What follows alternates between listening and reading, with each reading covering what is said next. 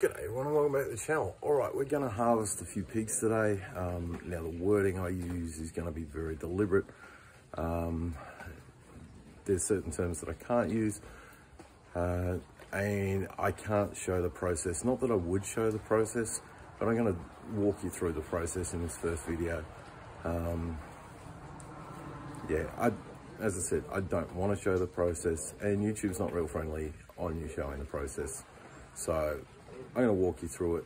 Uh, I've got a book here that I can show you some pictures out of and I can walk you through it. Now, our first picture is the hog and what you want to do is desensitize the hog. You want to uh, take it to the point where the hog's not thinking anymore. Um, now, you can use, in the old days, they used to use a stunning maul. Uh, you can use a captive bolt device. Uh, you can use a non-captive bolt device uh, which I'm not going to say because that is bad on YouTube. Um, and nowadays the commercial piggeries use electrode to desensitize the pig. And that basically causes a cessation of any neural function. So the brain's no longer active. After you've stunned the pig um, and stopped that neural neural activity, you then want to go through and stick the pig. Uh, this is a process called exsanguination, which means removal of blood. Um, and this is what actually causes the cessation of life. You want to get a knife, um, you come in at the breastplate, you come in 45 degrees. You then move the knife forward and you should get a flow of blood from the jugular from that cut. Here's some better images of the vascular system as you can see up here, where the rib cage ends, that's where your carotid arteries come up. You've also got your brachial arteries coming out there. And the carotid arteries are what you want to sever.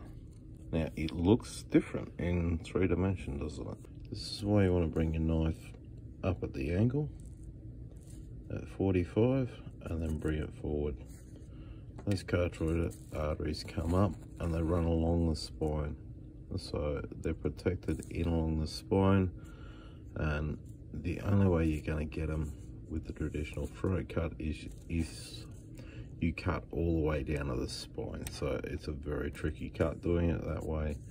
Whereas coming in from the angle and then bringing the knife forward will cut the apex here.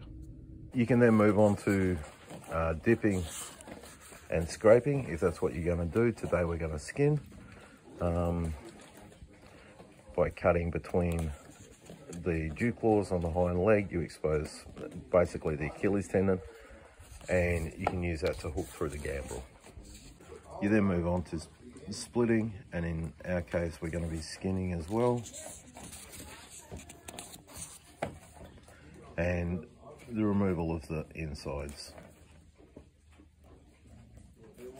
So after we've been through that process, I'll join you back. Um, we're going to chill the hog overnight, let it cool down. Once the meat's firmer, it's it's going to be easier to work with. We'll then break it into primals and then work those primals. I'm going to do um, two ways of breaking the primals. I'm going to do the European method and also the American method. I'm here in America, so we'll do the American way and you know, once I've got the primals, then we'll move on to what you can do with them. So that's it for this part. As I said, it's it's very careful, it's very carefully worded.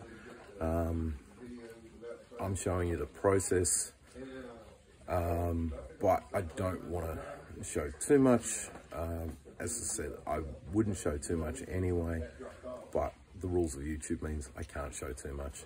Right, thank you very much for watching. Uh, stay tuned for the next part, which is going to be breaking down the primals.